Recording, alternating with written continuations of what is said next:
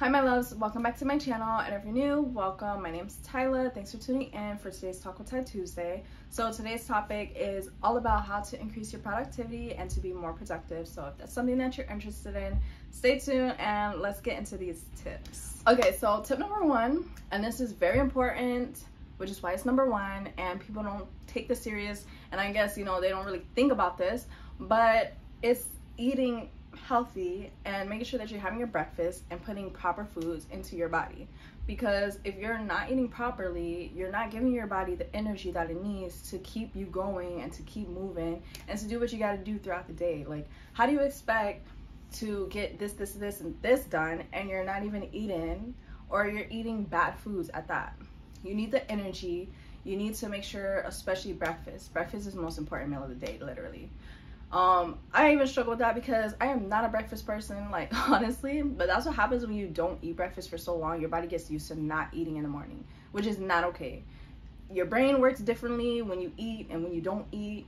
You're sluggish, like you're not functioning the way that your body needs to be functioning. So make sure that you are eating breakfast, that you're eating healthy breakfast, that you're putting um, nutritious foods into your body, foods that give you life, and things like that so that you can get everything done and you'll be ready and set for your day and you'll have the energy to do so. So that's tip number one. Tip number two and tip number two is planning which is so important as well because if you want to be more productive and increase your productivity, you need to make sure that you are setting schedules for yourself, that you are planning, that you're writing things down so that you can make sure that you stay on track of everything, which is going to help everything to flow so much better.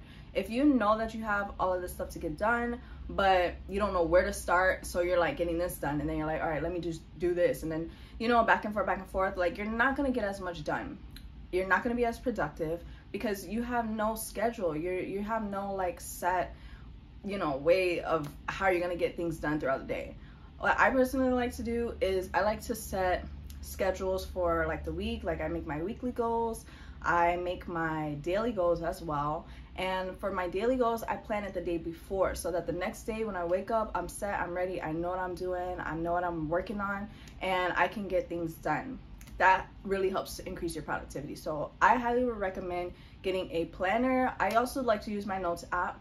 Works like a charm. You don't even need a planner if you're not about that life. But I personally, I like to write. So I got this one. Um, I don't remember where I got this. I think I just got it at Walmart. Usually I get the one at Michael's and I think it's called the Happy Planner. I love those planners. They're expensive, but they're worth it because you can do so much and they're just really nice. But this one I really love. This one is the Blue Sky Planner. And yeah, I love planners. You can write everything that you need to, all your goals, um, the things that you have to get done for the day, and all of that good stuff. I also have a whiteboard, so I'll show you guys my whiteboard.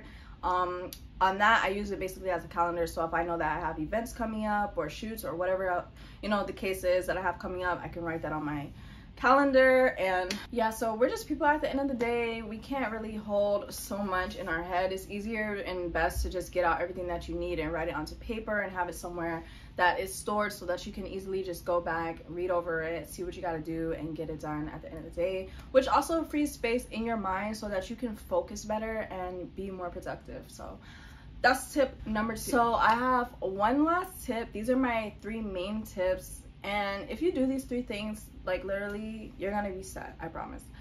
Um, but the last one is discipline. So discipline is important because at the end of the day you can set all these goals. You can say that you're gonna do this and do that. But if you're not disciplining yourself then in those moments when you're lacking and you feel like you're not really feeling like doing it you know you're just setting yourself back. You have to make sure that you are disciplining yourself enough to like push yourself in those moments when you feel like man i don't really feel like doing that today. Like but I'm gonna get it done and I'm gonna do it. And that's not to say to disregard your self care. If you are having just a really off day and your mental space is not in the right, you know, place, especially as a creator, like when you're like in music or art or dance or painting, you know, like with those type of careers and um, things, you have to make sure that you're mentally there because it's a creative outlet. You have to make sure that you're inspired, that you have that inspiration. And not being inspired can sometimes throw it off. So I don't recommend, you know, forcing yourself if you're just not in the mood to do it and you're just having a bad day, make sure that you set aside self-care days, which is couldn't be another tip, honestly.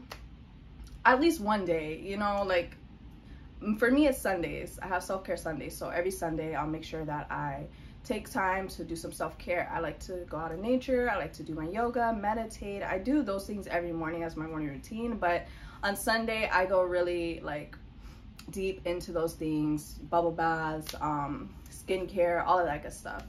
And just do things that I enjoy, Netflix, all that other stuff. But yeah, just make sure that you're disciplining yourself so that in those times when you know for a fact that you can push through and do it, you push through and do it. Don't be lazy, you know, don't let yourself down like that. Like you got goals, you got dreams, you got things that you want to accomplish. Make sure that you're sticking to it and that you are being there for yourself and you are putting forth the effort for yourself and for your future at the end of the day.